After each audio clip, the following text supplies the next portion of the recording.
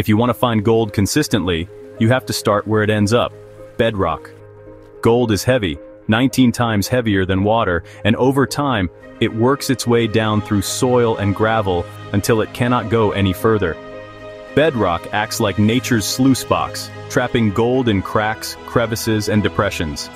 Different bedrock types matter. Greenstone belts, ultramafics, and certain metamorphic rocks often hold the richest deposits.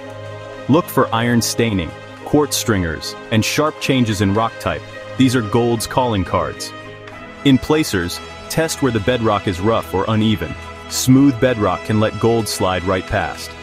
Bedrock is not just the end of gold's journey, it is the start of your success.